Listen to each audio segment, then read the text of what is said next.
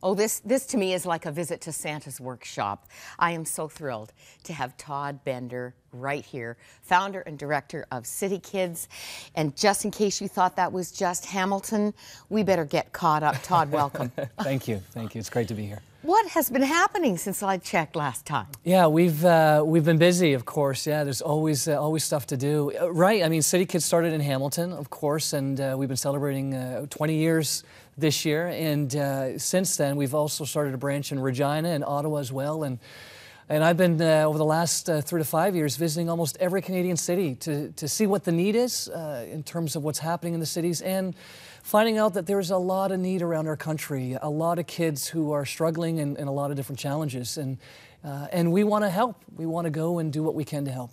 This could become a national ministry.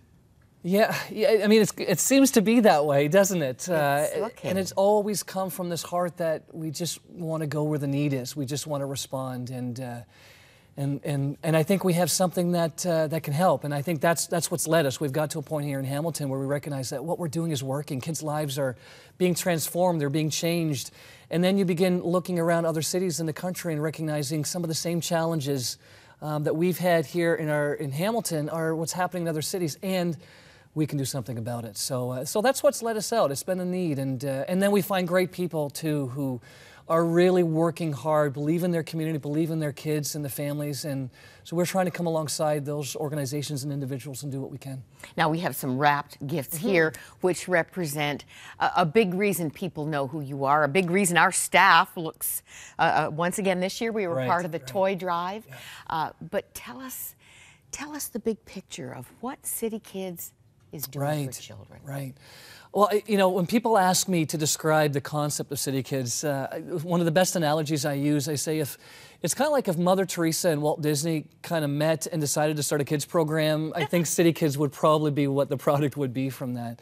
Uh, but it all came from this heart believing that every child, every child's a gift from God. Every child is born with, with purpose and destiny.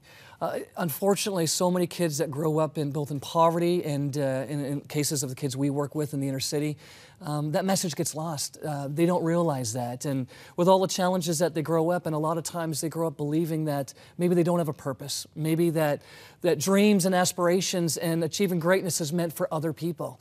Um, so really our simple job is, is to come alongside, let them know that we love them, we care about them, that God loves them, and He has a plan for their life.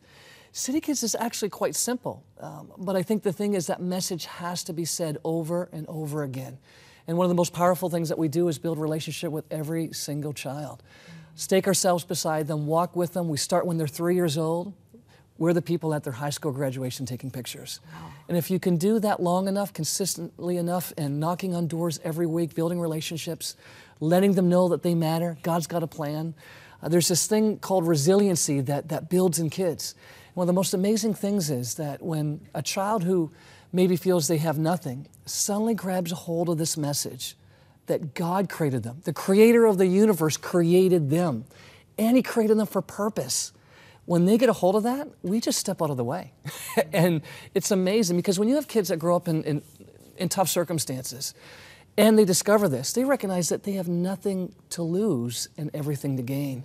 And so, after 20 years of doing this, we've seen kids' lives transformed, and it's so exciting. And, and this embraces uh, uh, children uh, regardless of uh, religion or cultural background. Absolutely. It's, yeah. it's wide open arms. What did you tell me? 3,000 children are now known by name. Yeah. They are That's part right. of a meaningful relationship. Right. Yeah, yeah. Every single week, somebody's knocking on their door, whether it's in Hamilton, Regina, or Ottawa right now, and and and inviting them out to City Kidz, asking how their day was, connecting with them every single week. And that's what we believe is what it takes. We have to, and Jesus role modeled this. This is what I, I so love about Jesus' leadership. He, he basically role modeled about going into the homes, loving people. You know, one of the best things he said was, look at, love God, heart, soul, and mind, and love your neighbor.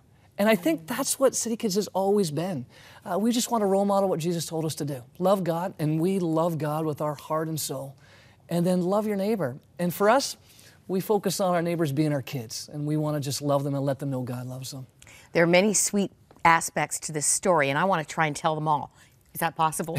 First of all, 20 years, you said. This is your 20th year. That's right. Uh, sweet irony. It is the 20th year of your marriage right, as well. That's right. And you married one of your first volunteers. yeah, that's right. No, I didn't intend on doing that. I wasn't looking for a wife. That's certainly not why City Kidz started. You knew a good thing when you saw it. But yeah, we uh, it was. I just arrived in Hamilton. I wasn't here that long, and I came to Hamilton after actually leaving Bible college and uh, wanting to just dig my feet in and find a need and fill it. That was kind of my whole heart. I mean, very naive, but uh, but I had all the best intentions. And so we started doing some activities with the kids on uh, uh, in a local school. And one of the first volunteers to respond was at that time, you know, her, you know, not my wife, but my wife Tina, and she she ends up showing up, and she was this very strong, demonstrative leader. Um, I remember I'd plan activities, and she would come and she would have a better idea. Uh-huh. And I was still struggling in my own leadership. I wanted to build some self confidence, so I figured. And you knew that verse, two are better than one. Yes, that's right. So, long story short, I figured I'd better marry her because uh, if I was going to have any success at all, I would need her by my side. And, Mm, and you to know. this day, she's uh, been just amazing and and, And the mother of your four children. Absolutely, absolutely. we have some video of uh, some of the celebration, and uh, this was last month. that's right. Yes.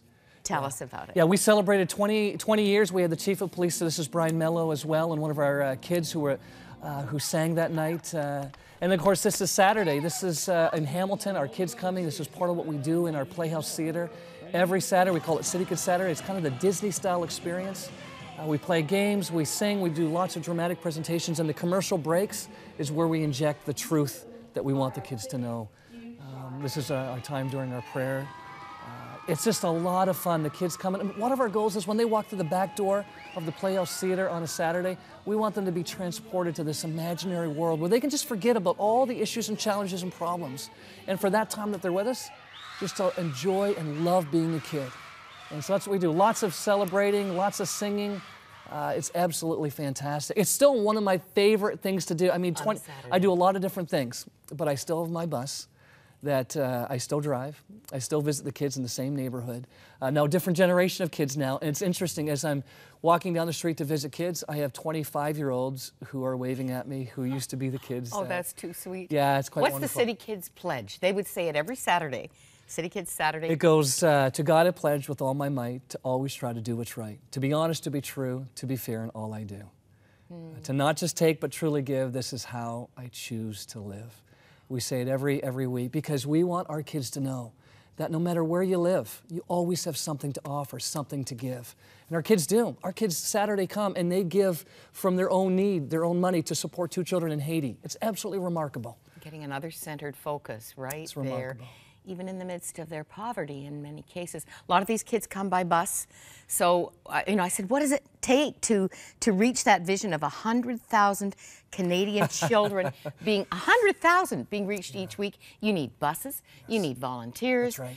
Uh, it is growing, but the vision's big. That's right. Yeah, because the need is big. I mean, we know in our in our country. I mean, the, the numbers often change depending on what metric that that the governments use. But uh, there's close to a million kids that are struggling, uh, dealing in poverty. We know our First Nations uh, children and families are really struggling, and there's really there's a lot of challenges that that they're facing. Uh, we know uh, particularly single moms, single dads have tough challenges. So there's a lot of need, and uh, our hope is that we can do what we can as fast as we can, as quick as we It, can. it's got to break your heart because you've got children on waiting lists. Absolutely. Waiting lists to be part of. Yeah, whole neighborhoods. Yeah, we, we uh, you know, when you do something long enough, uh, if it's something that people want to be part of, word travels, right? And so word of mouth now, moms, dads asking us to come to their neighborhood.